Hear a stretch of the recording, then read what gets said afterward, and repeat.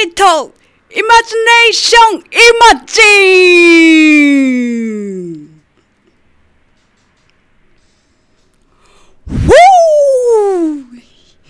いえいえ始まりました。D8 イマジネーションイマジン今日が初めての番組です。はじめまして D8 と言います。えっ、とまずこの番組の紹介からいたします、えーこの番組はスピリチュアルや自己啓発的なお話を DA 視点でお届けする番組です。えーそうですねたまに最近のニュースなども取り上げながらお話しできればと思います。まさしくタイトルの通りイマジネーションということで想像力を持って聞いていただきたいと思います。えーですので、まあ、このラジオを聴いている皆さんの中にもあの心の支えとしてさまざまな宗教やセミナーなど通っている方もいらっしゃると思いますでも一切否定しませんなので皆さんの人生を支えているその教えたちはぜひ大事にしていただきながらも TA のラジオの時間には想像力を一つ大きく持ってもらって聞いていただけたら嬉しいです。まあ、結局あの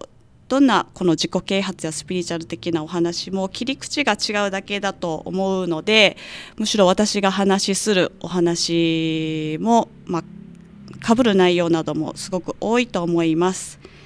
えー、とそうですねですのでもう皆さんが聞くタイミングで、えー、ハッとした気づきになったりまた聞いたことあることを心の中で何か思い出したりまた日々の生活であの一つ想像力を持ちながら何か気づきになる時間のきっかけになると嬉しいです。えー、てな感じで始まりました D8 イマジネーションイマジンイマジンは今の人と書いてイマジンです。想像力を持った今の人という思いを込めてこのタイトルにしました。ではこの番組毎週木曜4時から FM ギノワンから始まりますのでぜひ皆さんよろしくお願いいたします。聞いていたらきっと人生もっと開けてくるかもしれませんですので皆さん FM 技能湾木曜4時からよろしくお願いいたします。てな感じでまず最初にそうですね CM から入りますか。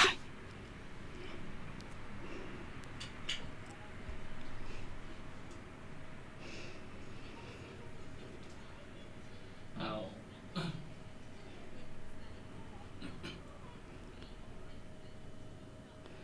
あと何分？はいえー、っとですね。あ はいあと CM 自体はあと40秒で CM 開けます。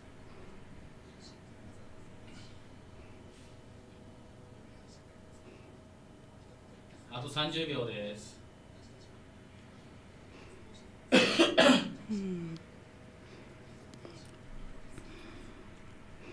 はいあと20秒で CM 開けます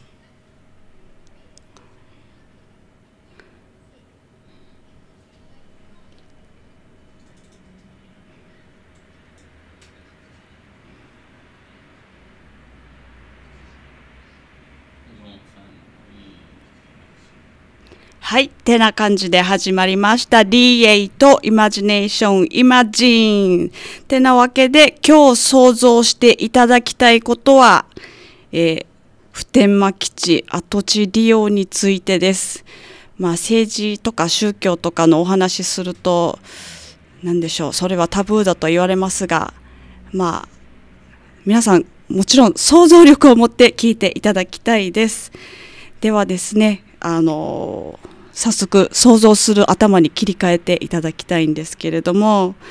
もし普天間基地の跡地利用をするとすれば、今までこの戦争とかいろいろあって、基地があって、そしてまたまっさらな土地に皆さんが何か新しい土地づくり、新しい街づくり、新しい世界を作れるとすれば、皆さんはどんな世界を、どんな未来をイメージしますか？今、えー FM ギノワンからあえて私はここで放送をしたいと思った理由は私は那覇市民なんですけれどもとてもこの FM ギノワンのこの土地、えー普天間基地周辺普天間基地この場所がとても重要な場所だと思ってます。まるで神様にこれからの未来もしまっさらな画用紙にあなたが新しい世界を作るのであればどういう世界を作りたいですかと問われているような気がします。ですのでもちろん家庭を持っていればいろんな収入のことだったり考えて仕事はこうでなきゃいけないとかいろんな、まあ、縛られることだとか考えが固執してしまっていることとかあると思います。でも想像力の中ではどんなところで暮らしたいなどんな世界を100年後に残したいなだとか想像することはできると思うのでまあ DA と一緒にあの想像してみるきっかけになるといいなって思います。でまたえそうですね1月の17日が、えー、告示24日投開票の宜野湾市長選挙も始まります。で皆さんまあもちろん宜野湾市民の方はその投票権を持っていらっしゃるわけです。よりどんなまちづくりをしたいかを問われてその責任を負って投票に行ける権利を持った方たちです。皆さんがいろんなことを考えていかに自分の考えと近い方はどなたなのかとかあとどうせ政治なんかもう自分たちが何やったって投票しに行かなくったってどうせ変わらないよって思ってる人たちもいっぱいいると思います。あのお家のことが忙しくて投票する時間もなかったっていう人もいっぱいいると思います。がしかしですねもしこの例えば候補者が2人いればこの2人の意見に私は沿わないということであれば投票して無記入でちゃんと投票してください。ちゃんと皆さんの意思を使ってください。皆さんが考えていることはそのままこの世界に反映されています。一つの現れがどうせ変わらないよって思っていることがどうせ変わらない世界がずっと続き続けて欲望を強く持っている人たちの世界がどんどんそう願う人たちの世界がどんどん表に出てきます。なので、どうせ変わらないでいてほしいのであれば、どうぞ何もしないでください。でも、どうか変わりたいと思うのであれば、どうぞ皆さんの意思や権利や心やいろいろ、せっかくこの世に生まれてきたんだから、いっぱい使ってください。体いっぱい表現して頭も心も使ってどうありたいかを一度ふとまあ、運転運転中でも眠る前でもちょっとだけの時間でいいですから想像をしてみていただきたいです。そしてですね例えば跡地利用の問題で今あのそうですね一つ候補に上がっているのがこうディズニーランドとか最近聞こえたことがあるんですけれども聞くとディズニーランドではなくまあディズニーランドが経営するホテルですかね。ハワイにあるようなホテル。あれだったら沖縄にっていうのも意見が一つ出ているのでしょうか。まあもうこれ以上沖縄にこのねホテルも増やしたいのかどうかとかまあさまざまなことを皆さん思ってる方いらっしゃると思うんですけれどももしくは医療を充実した街並みにしたいだとかまたもしくは最近テレビで見たんですけれどもこの明治神宮にあるですね代々木の森っていうのがあるんですがこれがあの100年後150年後の先のことを考えて森を作っている100年後の未来の人たちに残したい街づくりをあの100年前の人が考えて今ちょうど100年目ででもその計画は150年後の世界まで考えた森づくりをしているんですね。もももしそれを望めばそれだってできるわけですしまたあの人間の手を加えずにその森が自然の推理で成り立つ森を作りたいということであのいろんな生態系が育まれております。そういったことだってできるしいろんなことを想像できます。そしてこうであった方がいいということを皆さんの意思や権利を使ってもしかしたら反映できる世の中もあるかと思います。なので自分は政治家でもないしとかそういった感じで諦めないでぜひ皆さんにいっぱいいっぱい想像して100年後の先の未来に自分は何が残せるかなぐらいどんな協力の仕方ができるかなとかまあゆとりを持ってたまには考えてみるのもいいと思います。はい。で、まあ D8 イマジネーション、イマジンこのタイトルにしたのはイメージすることからまず先に始まります。イメージしてそれからじゃあどうしたいのかっていうそれから物質社会にこう反映させるのでまずはイメージや気づきが大事です。ですのでこのいつも頭の中があれしなきゃいけないこれしなきゃいけないああだったこうだったっていう過去と未来にまずあのとらわれてこの視野が頭の中が心の中が狭くなってしまうことがすごく多いと思うんですけれどもちょっと一呼吸して今ある状態をしっかり見てちゃんと今をかみしめてでそして未来にも想像力を持ってだったら今どうした方が自分は貢献できるか。だったら今自分には何ができるだろうかっていうのを全然可能性はゼロではないはずですので全く形に見えて役に立たないように見えても皆さんが精一杯可能性を生かすことが間接的に何か世界に役立つ可能性がありますので今一度今というのを実感して今を生きるイメージする人になっていただきたい。そして私もそうなりたいという思いを込めてこのタイトルにしております。なのでこの番組をきっかけにですねぜひ DA と一緒に、えー、過去や未来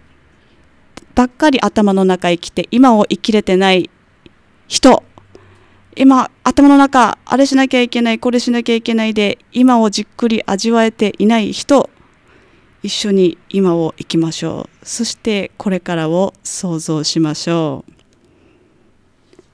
はい。そして想像するというまあちょっと脳のお話をするんですけれどもあの皆さんね、まあ、男性だったらねエッチなことも考えたりだとかいろいろあると思います。でこの快楽のこの、えー、神経ですね。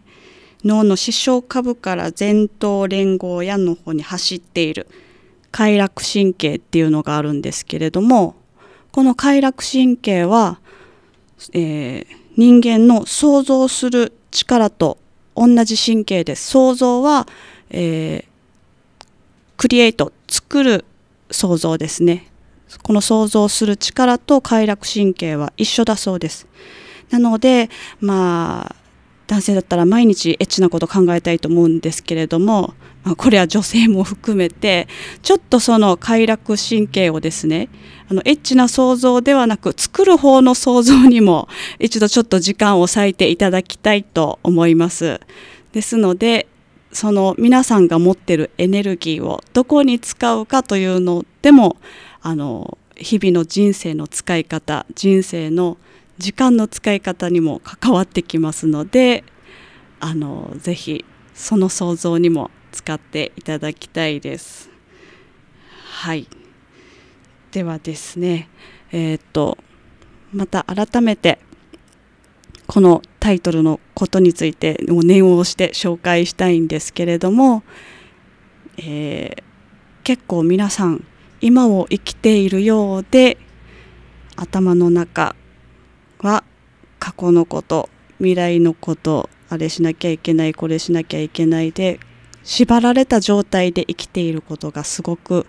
多くあります。なので今を生きているようで実は私たちは過去と未来をばっかり生きていてしっかり今を生きれていないんですね。で例えばあのまあいろんな霊能力だったりある方だったりとかはこういろんなお声が聞こえてたりすると思うんですけれどもそんなお声が聞こえなかったとしてもしっかりそんな能力が冴えてなかったとしても皆さんが普段あの人と会話する中でまた日々の生活の中で私たちに何かこれがチャンスになるよ。あなたはこうじゃないの。これこういうふうに今あなたに気づいてほしいのよっていうヒントが実は身の回りにたくさんあります。ですのでただこうただ流しに今を生きるのではなくしっかり今目につくものや、えー、身の回りの方が話してくれている言葉は実は神様からのあのメッセージだったりします。ですのでそれもまあ聞き逃さずに皆さんのあの選択肢の中に入れていただいて今というチャンスだらけのものをしっかり見てしっかり聞いてしっかり心で判断して、えー、思考でばっかり判断してしまうとの見失ってしまう部分があります。なのでしっかり心でそのチャンスをしっかり見て今を味わって、えー、今を生きてそしてかつまっさらな画用紙に描くこれからの未来をですね皆さんが作っていけるような人になっていきましょう。これはもう私も目標です。結構今のやらなきゃいけないことああの支払いまだだとかああの支払いもしないといけない。ああれが期限だったばっかりとらわれてですねあの視野を広く持てないともうどうしても狭い範囲でせかせかしてイライラしてあのただただ忙しいだけになってしまいますのでもう少しあの何でしょういろんなことを夢見たり私ができることだとか可能性を見てみたりするような思考も持っていただくと多分今までこう視野が狭くなってせかせかしていたことがちょっとはゆとりを持ってあの対応できることもあると思います。この私自身日々毎日これはもう訓練だなって思うんですけれども私ももうまだまだ本当に未熟ですので、まあ、人生ずっとプロセスだと思いますので是非みんなと一緒にそういった日々をチャンスを逃さないで大事にすることができたらなって思います。はい。で、えっ、ー、と、まあ、まずこの番組は一緒に想像したい、一緒に想像する時間ときっかけを作ろうということですが、今月私が強く言いたいのは、宜野湾市長選挙、あの、一切私は誰を味方するとかいうコメントとかは一切いたしませんがしかしせめてあの皆さんが投票に行くくらいの投票率がすごく上がるくらいの意識をまず持っていただきたいです。えー、最近知り合った、まあ、お母様でも子供の世話で忙しいからもうこんないつも選挙なんか行ってられないよっていう方がいたんですけれども子供いるならなおさら未来のためにちゃんと考えて選挙行けよっていう話なんだよって私は思ったんですがなのでえっと自分だけのあの権利ではない部分があります。あのちゃんとみんなの生活のために反映されることであったり言ってもダメだったって何度も何度も諦めたことはもちろんあると思うんですけれどもはい。思うんですけれどもやっぱりあの諦めないでまず行くというその行動するアクションすることがとても大事ですので互いに意識を持つということをまず大事にしていただきたい。ですので、この私のラジオだけでは、とても間に合わない部分もあるかもしれませんので身の回りの人たちでこの宜野湾市長選挙にちゃんと投票私は行ったよとかいう話もしつつあのちゃんとこれは行った方がいいよっていう皆さんお声かけもしてください。でこれをきっかけにどうせ変わらないと思ってた未来未来をどうせ変わらないっていう考えをなくしてください。ぜひどうせ変わらないかもしれない。どうせ変わらないって思ってたらそうなっているのがずっと続いていると思いますので選挙は選挙でしっかり言っていただいてそしてかつ別個で想像力も持っていただく。私は政治家になれないから結局何にも変えきれないって思うかもしれないけれどもこの地域の中で何かできることだったり家族の中で何かできることだったりみんなが小さな可能性を信じて小さな可能性を拾っていけばきっとどういう視点からどういう切り口でかわからないですけれども何かしら変わっていく可能性があると思います。この99%の諦めよりも1%の可能性を皆さん信じていただいて、ぜひ、この宜野湾市長選挙、そして、えー、というよりも普天間基地の、まあ、跡地利用をきっかけとしてですね、今神様にまっさらな白紙で、今これから自分がもし神様だったとしたら、もし自分がこの白紙に何か世界を描けてこれからの未来を描けることができるのであればどういう世界を描きますか？今までたくさん辛い経験したけれども今あなたにまっさらな状態から美しい世界を作るためにチャンスをあげます。ですのであなたたちはどういう世界を作りたいのですか？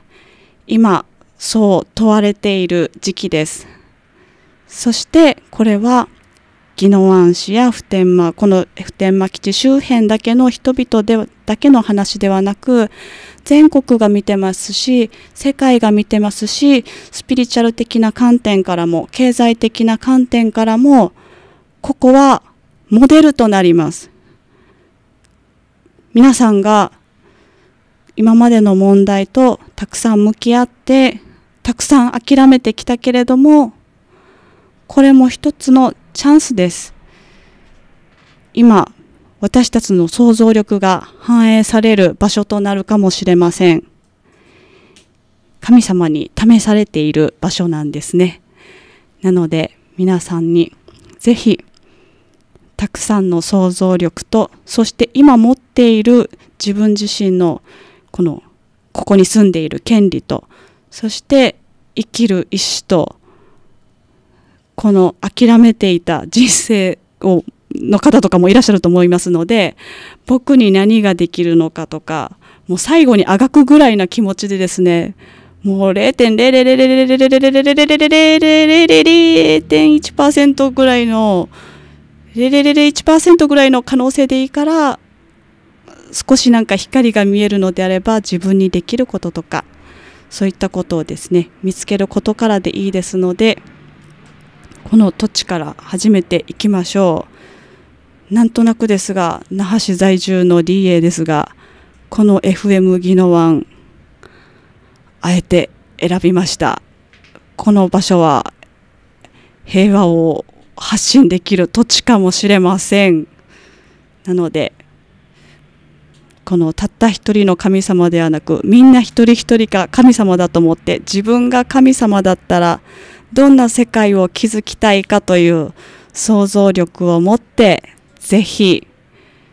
今この時期を一日一日無駄にせず可能性を見つけて日々をかの噛みしめてそして何より楽しんでもう体全開心全開楽しんで、えー、暮らしていきながらも貢献していいサイクルが生まれる世の中を一緒に目指していきましょうよ。よろしくお願いします。てな感じでですね、えー、FM ギノワンから毎週木曜4時から DA とイマジネーションイマジンお送りします。想像する今を生きる人、おいえ、みんなイマジネーションイマジンになろうぜ。一緒に DA と毎週木曜4時からしつこく言いますね。毎週木曜4時から FM ギノワンからリエイトイマジネーションイマジンになりましょう。よろしくお願いします。それではまた来週お会いしましょう。お相手は DA でした。